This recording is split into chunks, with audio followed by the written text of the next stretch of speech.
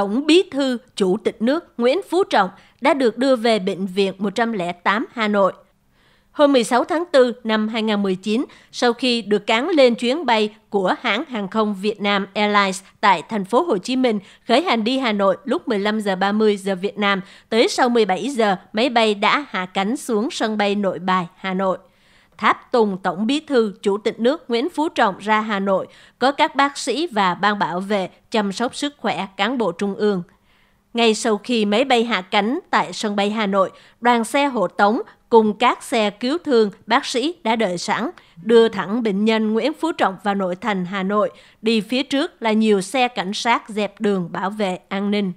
Đúng 18 giờ 15 giờ Việt Nam, cứu thương đã đến Bệnh viện Trung ương Quân đội 108. Ông Nguyễn Phú Trọng nằm trên cán thương được đưa ngay vào khoa A11 điều trị tích cực của bệnh viện này. Tại đây đã có các bác sĩ đầu ngành đợi sẵn và lập tức tiến hành các biện pháp nghiệp vụ. Được phép trực tiếp thăm ông Nguyễn Phú Trọng chỉ có hai người là Ủy viên Bộ Chính trị, Thường trực Ban Bí thư Trần Quốc Vượng và Bộ trưởng Bộ Y tế Nguyễn Thị Kim Tiến. Các cán bộ cấp cao khác khi biết tin đến thăm đều bị từ chối không cho vào. An ninh tại khoa A11 được thắt chặt, các bác sĩ, y tá được lệnh cất toàn bộ điện thoại và các phương tiện có thể chụp ghi hình. Một ủy viên trung ương tiết lộ tình trạng sức khỏe của ông Nguyễn Phú Trọng khá căng.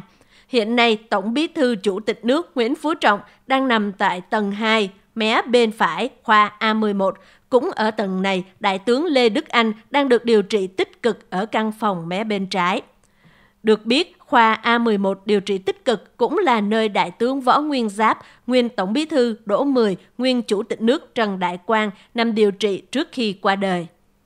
Quý vị vừa nghe qua bài của Lê Anh thời báo.di qua phần trình bày của Ý Nhi. Cảm ơn quý vị đã chú ý đón xem và chào tạm biệt.